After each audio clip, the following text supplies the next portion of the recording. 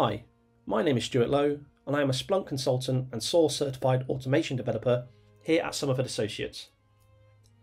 This is the second of a series of short videos on Splunk SOAR, and today I'm going to talk about how security orchestration is achieved.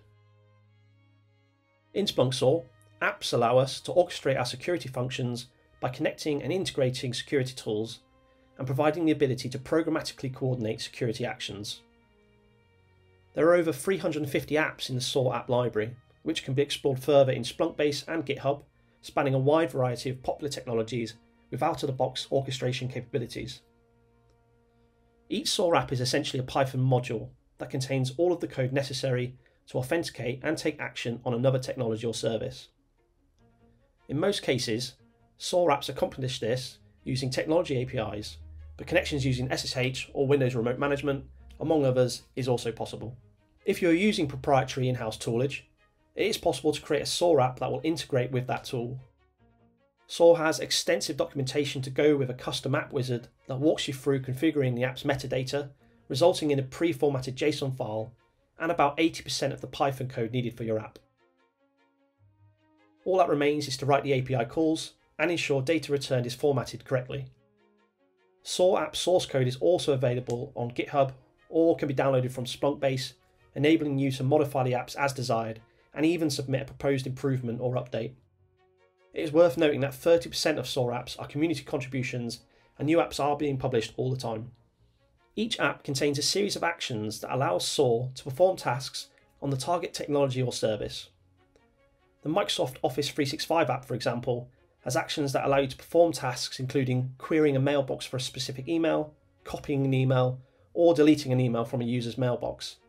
Cisco ASA, on the other hand, provides an entirely different set of actions such as block IP or terminate session, among others. Detailed documentation is available for each app, detailing expected parameters required for each action and the values that will be returned. In SOAR, action names are standardized across all apps and technologies. A block IP action in the Cisco ASA app is also a block IP action in the Palo Alto firewall app. This is particularly useful during playbook creation as a user can select the relevant action name and choose which app or asset should perform that action. Writing playbooks will be a topic for a different video. Each app can be configured with one or more assets, which could be a service in the case of VirusTotal, or a device such as a firewall. Assets in SOAR are where we can find the configurations for an app using one set of configurations per asset, that allow us to define the specific details needed to communicate with that technology or service. For example, integration with Cisco ASA requires a device IP or hostname and a username and password. Other assets may only require an API key. In the asset configuration, we can also define very granular role based permissions on a per asset basis. Assets configured with no approvers will execute immediately, which would likely be acceptable for a URL or domain reputation action. A write action performed on an asset such as a firewall requires approval, and this is handled by a primary, secondary, and executive approval escalation path. For example, if an asset requires two primary approvers, if only one responds in time, the second approval is delegated to the secondary tier, and so on.